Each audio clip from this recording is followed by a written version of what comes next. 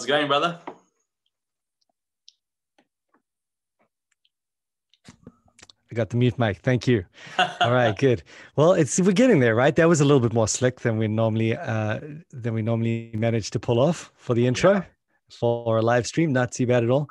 Um, let me just make sure that I have unpinned all the right thingies, and um, I think my video is still pinned there. And yeah, good.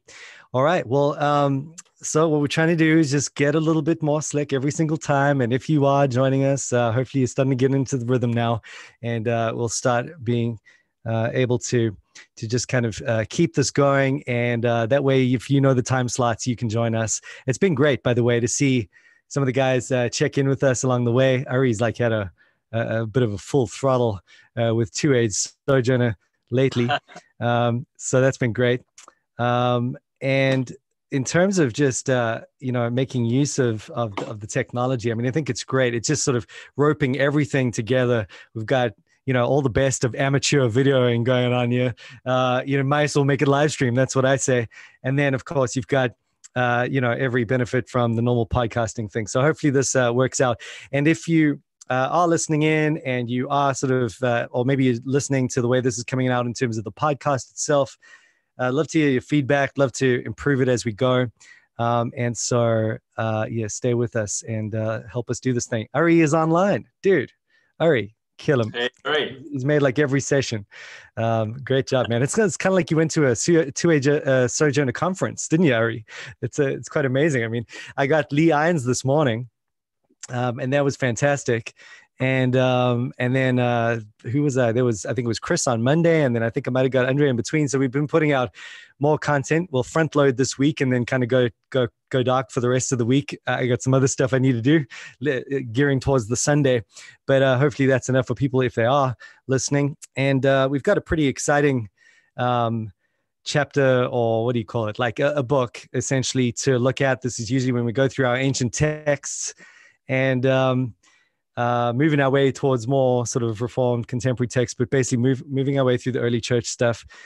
And uh, we've got a, a, passage, or at least uh, we're, looking at one of the homilies um, out of a, a, much greater body of work, but uh, what, what is known as the 50 spiritual hom- homilies. And um, it's uh, just um, really profound, isn't it, Nick? Did you have a read through it? Yeah, I had a read through it. It was uh, very, very interesting yeah it's it's like john wesley loved this stuff right?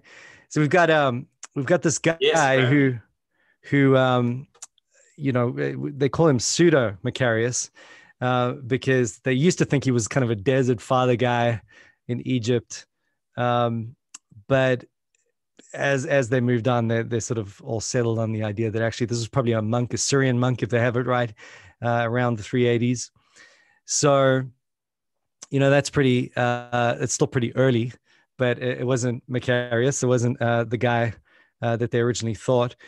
And yet he wrote he wrote something that had such a big impact uh, on it seems like so many different people. Obviously you've got john wesley who refers to this translated much of of this work um, in his own uh, lifetime. And um, and you can kind of see why as you go through. Um, and then uh, who else? I mean you've got i think um, even some of the guys we've looked at already were were um, were hit by this. Let me grab my book here. Anything you pulled out uh, about this guy? Yeah, I just um, he was originally thought to be by Macarius, the Coptic monk. Um, turns out it wasn't. I heard one theory say that it sounded very similar to something that Gregory Nyssa wrote. Right. So there's there's one theory that says it's it lines up with Gregory Nyssa. Yeah, so that was interesting. Totally. And uh, the guy I was thinking about is uh, we've we've covered we've covered Basil's rules, um, and uh, apparently Basil, um, well, at least uh, they they take the same sort of form as Basil's rules, um, and uh, who knows that he might have even been influenced there. So it just had a they had a big impact and they're really easy to read. That's what i enjoyed about them. And they just see they seem i don't know if it's the translation that i'm using but it seems very very fresh very relevant. And yeah. um and very in line with the kind of christianity that is sort of the the common landscape of the day uh, pietism and so forth. Um yeah you know, which is probably the problem with this. I mean, we should say up front that really if anything, it's tended towards. Um, in fact, someone took a guess that it had some connection um, to what are those guys called again? Um, kind of that oh the uh, um, and the the sort of proto charismatic movements of the day. Right. You know, sort of the it's real big focus on on spirituality and um, and so forth. So yeah, of what this, yeah, apparently this guy's uh, loved by the charismatics because you're looking for miracles post apostolic fathers. This guy talks about exorcisms and miracles and experiences of the Holy Spirit. So mm. yeah, he falls right in line with the pietistic emphasis. And uh, he is semi-Pelagian, although some of the parts we're going to read actually sounded pretty good to me. But sure. uh, apparently, he's a lot more mixed yeah. than, than what we're going to be reading. Right, right. So we've we've got a curated little bit, yeah, and that's an important point to make as well. In that, I think a lot of this, if you um, if you understand it in a in the framework of a good Calvinism or a good Augustinianism or a, a sort of a properly understood um, not a fatalism, in other words, a well nuanced uh, Calvinism. I think you can incorporate a lot of what he says without feeling too pressured by it. But of course, he does go past the line, and um, he's not in, in any way advocating the same kind of Calvinism we are. But there's an overlap, and there's a lot of overlap. And uh, again, as we've been doing throughout, I mean, to me, just reading through these little highlights of the 50 homilies, I was just actually struck. Probably I've I feel like this we have most overlap than we've had to this point in all yeah. of our readings. Did you also feel that way? Yeah, it was very familiar territory. yeah, which is interesting, you know. And again, you're looking at 380s. All right, Ari wants to know: Are we going to be long enough to light a cigar? Uh, well, dude, I've got um, I've got a decent little bit of whiskey to get through you. Um, got a decent book to read. Um, I, I definitely think you should light your cigar. That's my vote. Um, Nick's got his water bottle.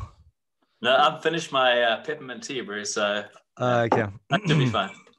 You don't even have your little water heater bottle thing, uh, and your little no blankie. no blankie. What about, what about, a water bottle, bro? um, all right. So you know, let's let's also say like, why do we do this? Um, um, you know, I it was a bit of a, a well sung song at this point. Um, but I just I know I'm mindful that someone might be tuning in for the first time and go, well, you know what um, pseudo macarius 50 homilies what the heck? I mean and, and also um, you know it's not like nick or i are claiming to have any level of great expertise on this uh, any, any level at all. I mean uh, both of us are pastors. Both of us love theology. Uh, we uh, love the the early church stuff uh, as much as we can get of it. But um, you know what i thought to just mention because I think this is this is helpful, and this is kind of the heartbeat behind why we're actually doing this. Um, talking this morning to Lee Irons, he made a comment about Greek and first year Greek, and um, and he was basically saying like I was just saying like I've been you know I feel like I'm never getting past that first year level no matter how how hard I try, right? And and he said, well, sometimes you just got to jump in, and uh, I've heard him say that before. You just got to jump in and start reading that Greek, and just and just get messy like that. And um, I actually thought about this series that we're doing right here, and that really that's half the the issue. We don't want to just jump in because it's way too intimidating to read the older texts, and uh, we feel like okay, we'll just let the pros read that, and we rub ourselves in the process. Uh, you don't have to be an expert to read this stuff and uh, to, to have thoughts about it. And certainly you should be processing all of the theology you read through the rubric of a pilgrim paradigm you know to make use of of, of what the stuff we, we're promoting here. In other words you wanting you're wanting to have a robust systematic theology that is uh, up to date and current and uh, certainly contemporary and able to take the best of the best and weave it all together. But then you want to be able to read everything and you want to be able to churn it through that and make sure that that helps you with your discernment. Of course that applies across the board not only the early church stuff but you have um, an exceptional blessing awaiting you i think if you take that uh, understanding to the early church. So that's what we're doing. We're just reading it you know? We're yeah. just trying to get messy and uh, you know it's uh, we're trying to get past first year greek in the equivalent of church fathers. Just jumping in. Yeah totally um, all righty. So with that in mind, um, should we just go for it, Nick? What do you reckon? Yeah, let's jump in. All right. You want to take the first paragraph? Yeah, paragraph one. Right. It reads All intellectual creatures, namely angels, humans, and demons, have been created by the Creator, innocent and completely simple. That some fell away from these traits and turned to evil was a result of their free will. By their own will, they turned away from right reason. If we assert that such fallen ones were created as such by the Creator, we are saying that God is an unjust judge who would cast Satan into fire. Those who affirm that evil exists in itself are really most ignorant. For in God, no evil can exist by itself, since he himself is not subject to passions and he possesses his divinity. In us, however, it works with full power, especially in our senses, suggesting all sorts of obscene desires. In us, it is not like, say, wine mixed with water. It is more like wheat in the same field by itself and the tares by themselves. It is like a robber in one part of the house and the owner in another. Mm. Yeah. Cool. It's nice to be reading the same the same actual translation. Yeah, I couldn't. I couldn't find. Usually, you've got the high and mighty Philip Schaff version. Yeah, this is uh, yeah, totally. Um, and that's maybe something worth worth mentioning as well. We've uh, we've got a we're using a specific translation. You might not be able to get it online, but if you can find something, uh, hopefully that's enough to just uh, get you moving along with us. What do you think of that paragraph? I thought it was fantastic. I mean, it goes it goes where we go, and it talks about God and a good creation. He created angels, human beings. He created them all good, and mm-hmm. when they turn towards sin, they turn towards sin as a, as a result of their own volition, their own will. Mm-hmm. That God didn't cause them to be evil. He didn't create evil. It was them that turned towards evil. And so, up to that point, we are fully in agreement. Yeah, yeah, good. Um, almost a bit of a Augustinian thing happening there with the evil. There is no such thing as evil. It's just a parasite of the good sort of thing um, coming through there. I don't know how intentional that is, but yeah, I mean, in terms of, um, you could see at that point, you know, that might sink into a lot of what he's saying that's going a slightly Pelagian direction.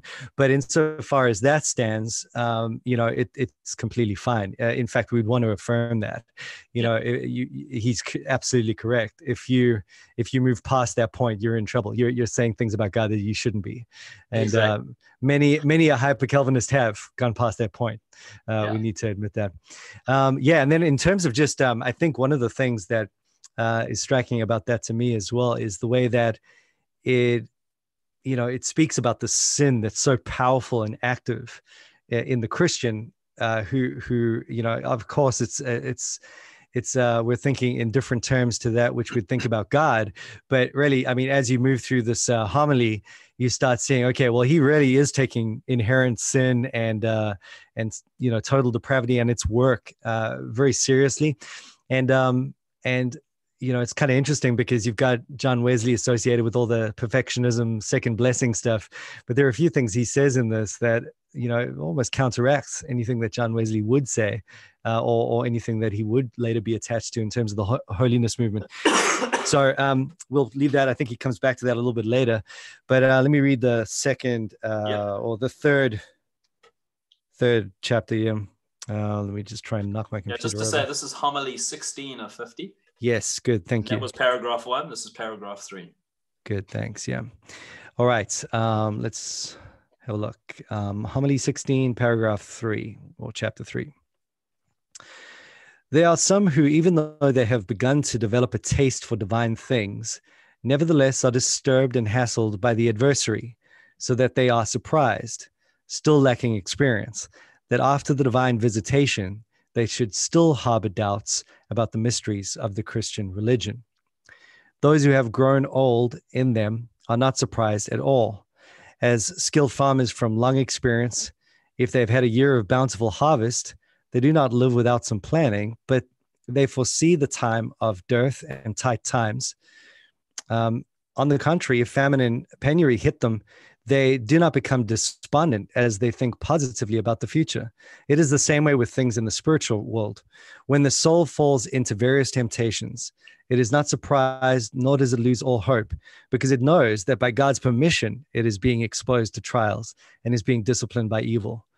Nor does it forget other circumstances when things go well and there is consolation, but it expects the time of trial. That's a great paragraph, isn't it? Yeah, very good. I mean, it's oh, man. Uh, great comfort for the, the young Christian. You know, the young Christian has that wonderful experience and he he talks about uh, after the divine visitation. I imagine that he's talking about some early experience of the Christian life. Right, right. And then um, all of a sudden, trials start to come, and they're really rattled by those trials. Yeah. And he talks about how the mature person recognizes that, you know, to prepare for trials. And uh, I just uh, I thought it was uh, it was quite brave of him to say that um, by God's permission, it is it is it is being exposed to trials and is being disciplined by evil. Yeah, that's that's quite a big statement in terms. It's a big statement, but it gets me thinking about Job. Exactly. You know, and um, it, it, almost reminds me of the way the Puritans spoke, where uh, you know they'll they'll sort of be sick and dying, and they'll speak about God visiting them with a fever. You know.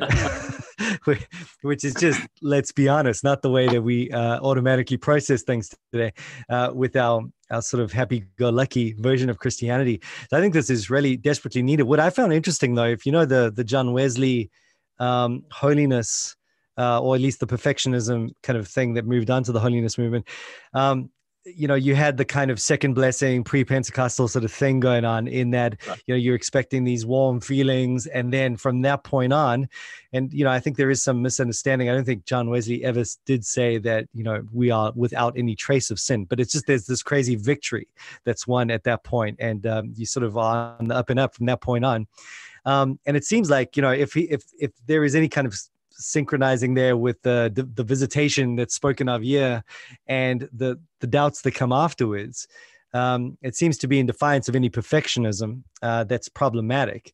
Um, you know, and so I don't have any problem with with saying that. Yeah, I mean, you could have experiences. You can have high and lofty moments in the Christian life. You can have moments that you're just really on the top of the mountain, but uh, you know, don't expect that that means you're suddenly without sin and yeah. um, and I think it is true that a mark of someone who's been in the Christian life for a while is that they perhaps do panic a little bit less about these things, um, and you know they they know where to run and they know they know how to come to their Savior. They are more trustful that He would forgive them perhaps than they were. Uh, you know, and those things. Um, not to say in any uh, in any way that that sin becomes less um, uh, less um, torturous to the soul or or less problematic to the believer but there is a you know this is sanctification right we we grow yeah. in an understanding of christ's love for the fact despite the fact that we're just these worms and uh and as we increase in confidence uh, that he would receive us. I mean, that's that helps us in the in the long haul as we grow in, in, in our discipleship. So I like that paragraph for for the way that it, it highlights that idea. Um, Amen and the farmer analogy is great as well. Like farmers don't freak out, you know, just because there's one little moment. They're they're ready for the battle. They're they're in it for the long haul. Um, And there's something almost Jerry Bridges like about this, which I like. Yeah, and it's it's not triumphalistic. The whole no. idea of uh, you know uh, weeds among weeds among the wheat earlier as well. You know that's it's it's it's not only wheat. It's not all heaven on earth. There's uh, yeah the recognition of uh, a mixed experience. It's not all pure triumphalism. Yeah, for sure.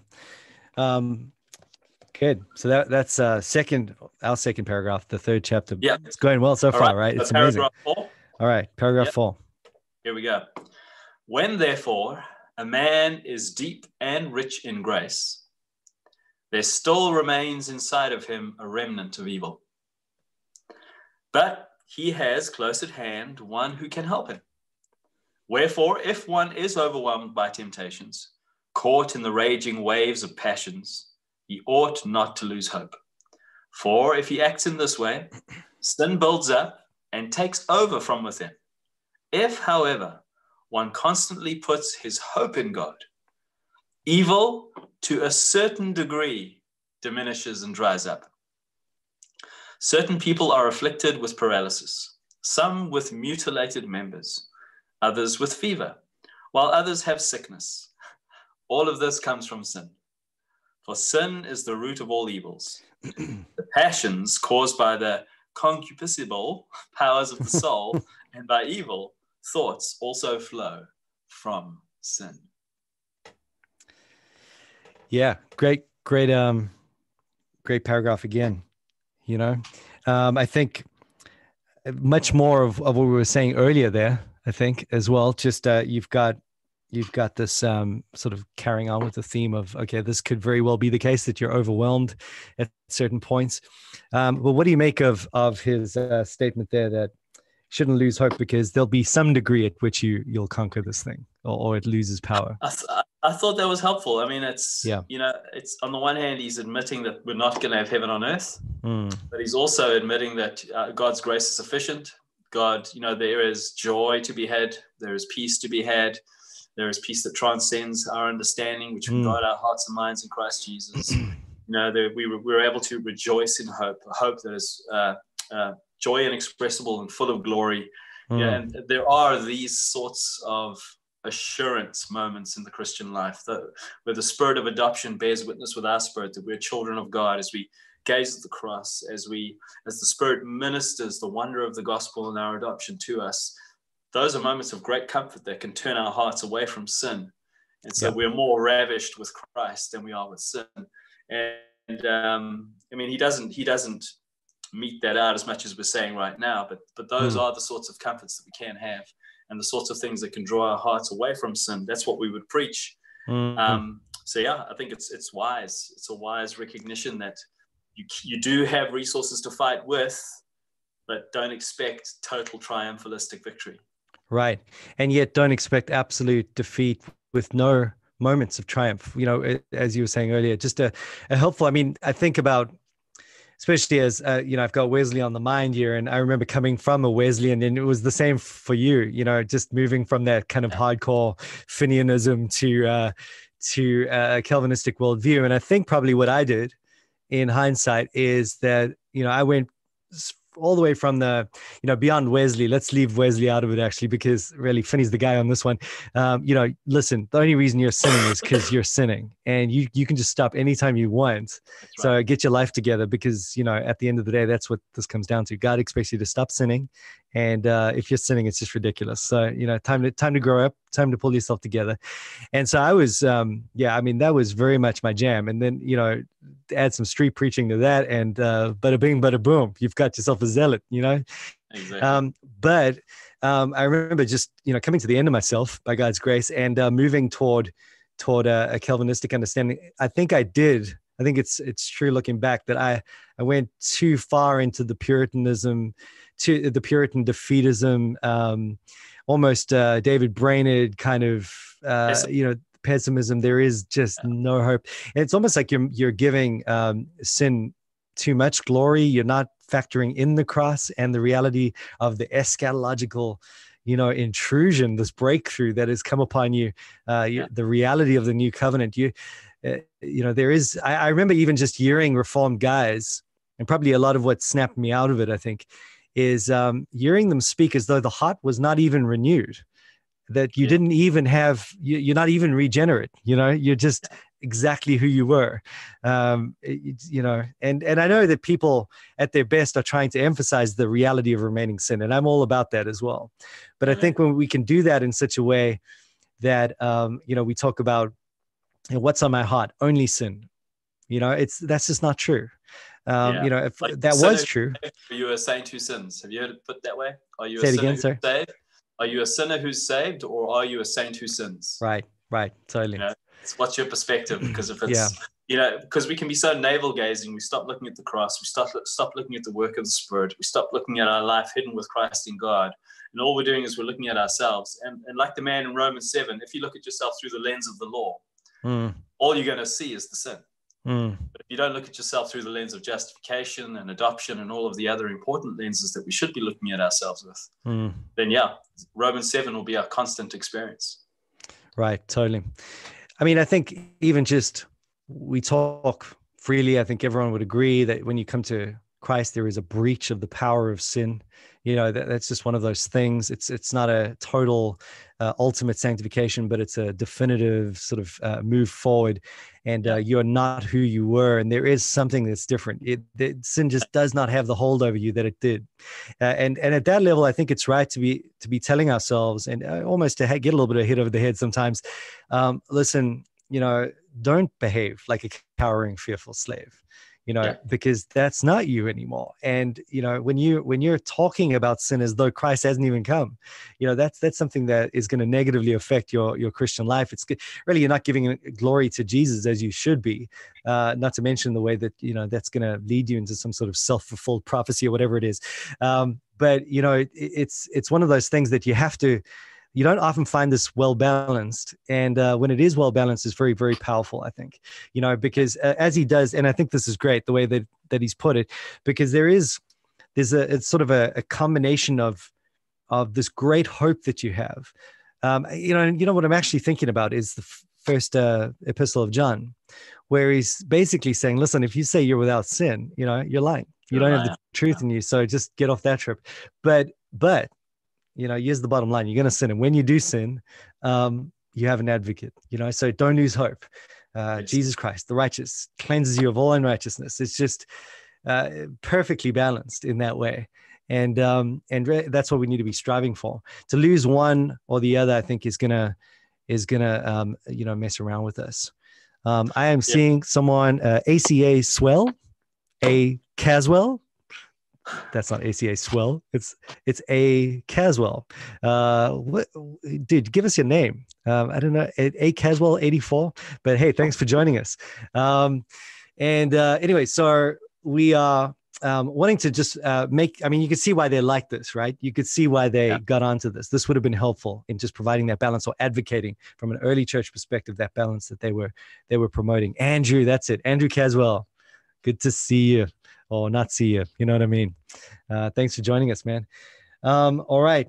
Well, I'm going to take us on to. Uh, do you have any more comments on that paragraph before I move on? Uh, just a quick look. Um, no, I thought I think we covered it. I, I did. I was I was unsure of what he meant by the last two lines. All of this comes from sin, for, um, and he's talking there about paralysis, mutilated members, fever. Is he is he is he falling into the trap of saying that uh, you know we we get sick because we sin, or is he relating it to the fall, or is he relating it to our individual sins? So I was just unclear as to what he meant there. So there's just a question mark in my mind. I'm not accusing him of saying too much, but I just have a question. I'd, I'd like to know more of what he means by that. Yeah. Well, actually, um, I kind of like that in that it seemed again quite balanced to me in that he was connecting sin, uh, at least all suffering and all curse, to sin, um, and yet keeping that from being a, a kind of um, uh, making it too much of a thing. Uh, you know, not an individual, personal punishment thing is what I was uh, immediately thinking about there. But I might have read into it. Um, but yeah, was- probably, yeah, yeah. probably there is something going on there. It would be interesting to read the rest of these. I am my my curiosity is peaked definitely to read the rest of these now because this seems like good reading and easy reading. And by the way, if anyone is is uh is listening to this and you do uh, come across a good copy on the internet of uh, of these homilies. Uh, let us know. We'll put it on the show notes. And uh, we weren't able to track anything decent down, um, but this would be great. Great to have access to. All right, good. Um, so I'm on paragraph 12. 10. 10. 10. All right, second last one. Uh, here we go. there are those who claim that there is no sin in man. They are like people immersed in deep waters who still are afraid to recognize the fact, but say, We have heard the sound of waters. so plunged into the depths uh, of the waves of evil, they deny that there is sin in their minds or thoughts. Some people talk a great deal, but they are not seasoned with a heavenly salt. They speak a great deal about the royal table, but they have never eaten there or enjoyed it. But different is the one who has seen the king, one to whom the treasures have been opened. He enters in and inherits them. He eats and drinks of these costly foods. Awesome.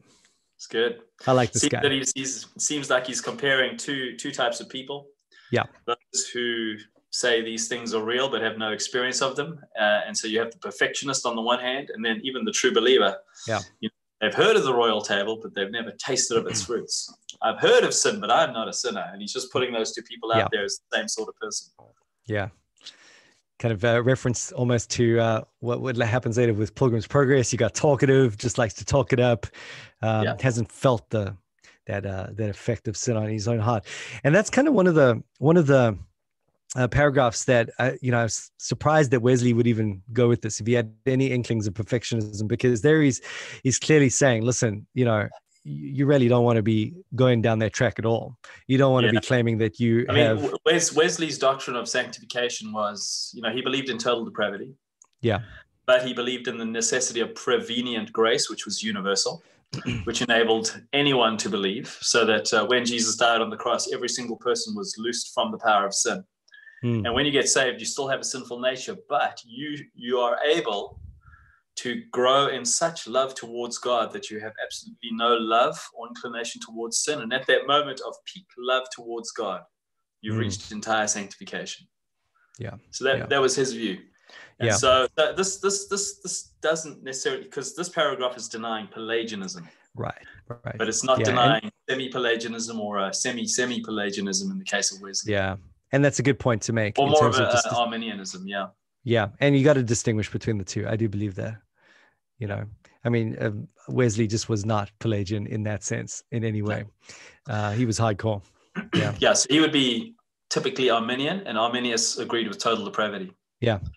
Yeah, yeah. sort of a historical Arminianism. Good. Yeah, the uh, the other form of holiness teaching I got into was uh, some of the Keswick stuff. So just as you are justified by faith alone, you're sanctified by faith alone.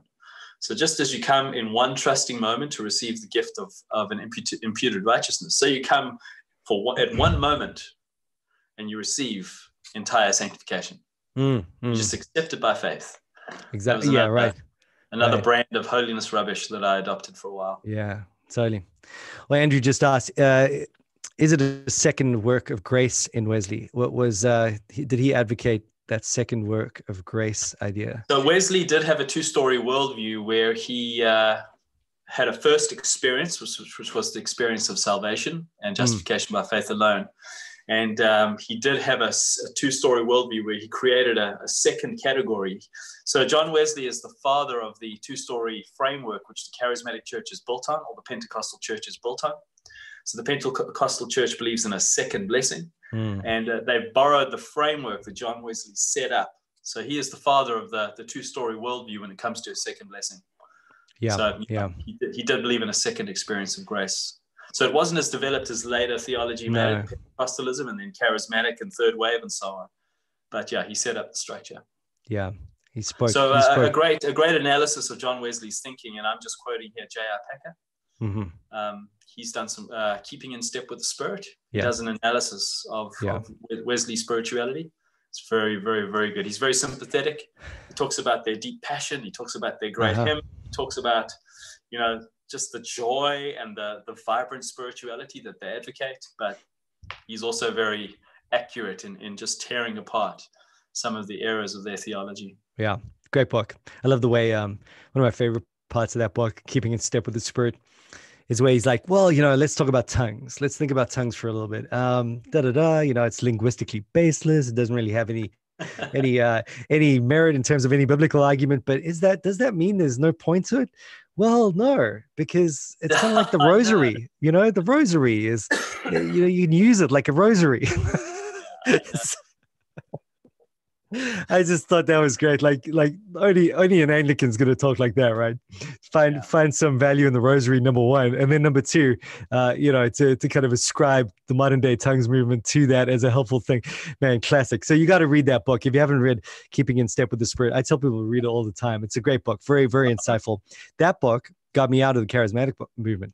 Oh, there you go. Very good. Yeah, um, more than any other book, I would say. So you know even though even though he wasn't trying to do it you know he was he was being very as you say very uh you know understanding with everyone. But it's just like i was like nah i don't want it. I don't want yeah, it after you exactly. just completely slammed it. Yeah peck is a much nicer man than i am. Yeah. Yeah for sure. For sure. Good. Okay. Uh where are we? Good last... question. Yeah. Yeah. All right. Last paragraph. Paragraph 12 so now he uh, he's talking about the man who recognizes himself as a sinner, as opposed to the one who talks about himself as having no sin. It reads, "Such a one regards himself as the greatest of all sinners. He carries this thought ever with him as a part of his very makeup. And the more he progresses in knowledge of God, the more simple and unlearned he considers himself. And the more he studies and learns, the less he feels he knows. This grace acts as a guiding force, almost second nature to him, just as an infant is carried about by a young man who carries him and does with him whatever he wishes. So also, the grace that operates in the depths of the soul's powers it feeds the mind and lifts it up to heaven, to the perfect world, to everlasting rest. But in such a grace, there are many degrees and perfections. Hmm. So there's some great statements there about the fact that, you know, the more you know of yourself, you know, uh, I think it's, uh, there's the, what was Paul's progression? The least amongst the apostles, the least Yep. amongst the saints, the chief of Yep. sinners. So as Paul gets older, you see that progression in, in thinking. So there's a very clear uh, recognition of uh, that necessary attitude of humility. hmm Um, but then at the at the end, he does talk about different degrees and perfections, and I wasn't sure he was going there. you just get nervous, right? You can't help it. It's in that time period. You're like, dude, just leave the degrees of perfection thing alone. But uh, yeah, I mean, insofar as he means glory to glory, it means you know an advance in in sanctification. Um, uh, insofar as he might mean, uh, there are just different spaces in which you find different people along the pilgrimage, as it were. Um, you know, amen. Um, but if there's more than that, if there's some sort of, he was quite influential on the Eastern um, fathers as well, Yeah. um, which was interesting. So, I, you know, there could well be a link there, and uh, we're, we'd be out of our, our lane there to to try and comment on it. But, but at the end of the day, um, you know, as it stands, it's a good curation of of of his homily. Um, even if even if on, even if we just extract those paragraphs from his 50 homilies, they're pretty darn good. Yeah, very good stuff. I mean, uh, that's that's comfortable ground for us. Yeah. And uh, we, you know, the the big thing about church history is we read it with humility. We read it recognizing that these are the men that came before us, that we built on their shoulders, Yeah. that we have to credit to the way that the Lord has used them, and that the only reason we know better is because they made the mistakes first. Yeah. Um, so yeah, there's still much to get though, and I'm very thankful for for this sort of thing. Yeah. Yeah. Amen. Well, there we go. There we go. That's some, um, what, what do we call them? That's some pilgrim theology from the ancient ones. Pseudo Macarius. Pseudo Macarius, 50 spiritual homilies. Um, I wonder what he would have done about lockdown and um, and church on Sunday. yeah, I uh, did you hear that the lockdown's been extended by a week? No, I didn't. Is that right? Yeah, five weeks. Wow. There you go. Well, I mean, so so far, not a lot. To be totally honest, not a lot has changed for me uh, outside the Sunday gathering. Um, I'm just kind of in my office like I normally am. It's kind of cool having the kids home. But um, yeah, look, it'd be interesting to see where it all goes. Uh, what we need to do, what we keep on meaning to do, and what we will do at some point during the lockdown, I, I hope, is talk about the whole church thing and live streaming, and because we have a know, we're doing different things, which I think would make a good, interesting discussion there.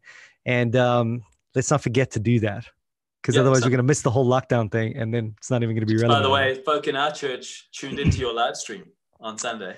I did see a few, a few, uh, uh, you know, sort of messages from your church. I'm like, uh, what's going on here? Yeah, and so in the evening, because we didn't run an evening service, they listened to my sermon.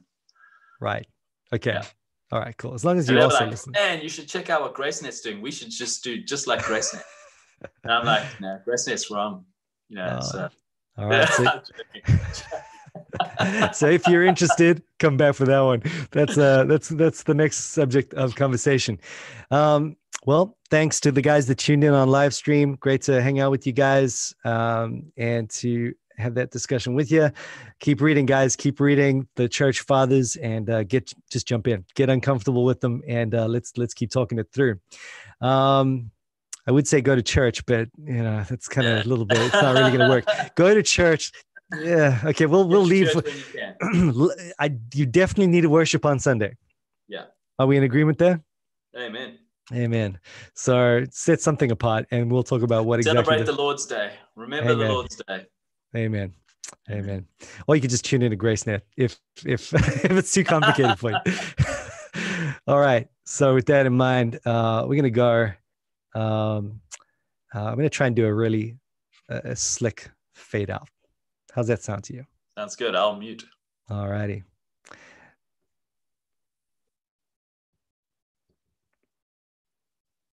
All right, it's not so slick at the moment. I'll uh, I'll I'll admit. Here we go. It just started getting slick.